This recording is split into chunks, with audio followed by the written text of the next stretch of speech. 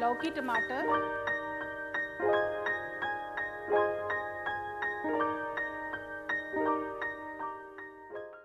Namaste. Welcome to Sanjeev Kapoor Khazana and I am Neena Murdeshwar and today I am going to see, show you a very simple recipe using a vegetable which is not very much liked and that is lauki.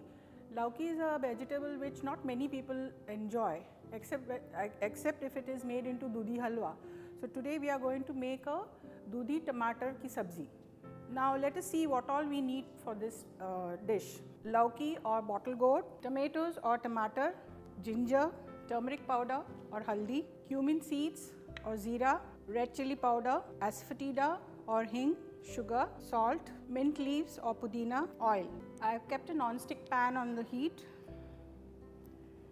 Now we'll add some oil. 2 tablespoon oil is enough. Let us wait till the oil gets well heated and then add the cumin seeds. Otherwise the cumin seeds will not fry well. Now that the oil is hot enough, we'll add cumin seeds around 1 teaspoon.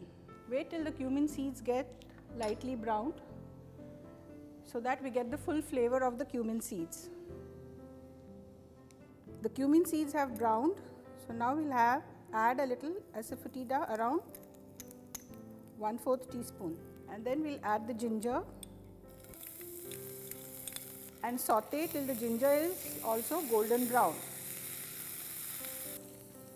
The ginger is getting nicely sauteed. Now we'll drain this bottle gourd which we had cut into cubes and soaked in water. Add a little haldi powder around 1 4 teaspoon, around half to 1 teaspoon of red chili powder and mix. Now we'll add salt. Don't add too much salt at a time.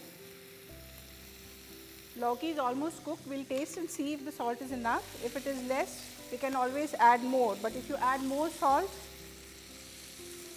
it is difficult to take away the saltiness. After adding the salt, mix well.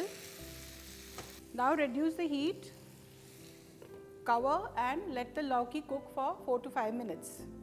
Now let's see how the lauki is doing. Yeah, it's almost done. So now we'll add the tomatoes and a little sugar. Stir well.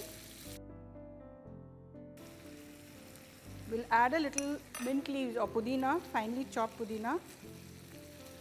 Pudina will add a nice flavor to the lauki. Cover and let it cook again for another 2 to 3 minutes. Now let's see, I think it's almost done. Yeah, it's done. So now we'll switch off the heat and transfer it into a serving bowl. Garnish it with a few shredded mint leaves. Here it is, lauki tomato all ready to be served. You can have it with chapatis or parathas. It tastes really good.